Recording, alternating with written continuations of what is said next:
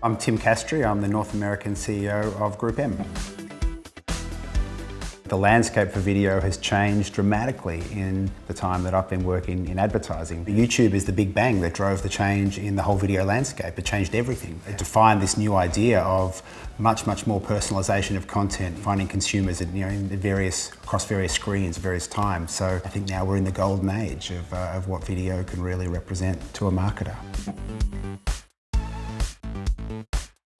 You have to get them early, you have to get them quickly, you have to get them in ways that are, relevant. You have to put yourself adjacent to, to, a, to, content that's relevant for them, and you have to, you have to grab their attention um, out of the gates. And certainly, we've had a lot of time in digital chasing sugar fixes, quick likes, quick views, quick reach, but without the substance and engagement that follows through, then I think marketers and agencies are increasingly understanding that the returns don't quite follow.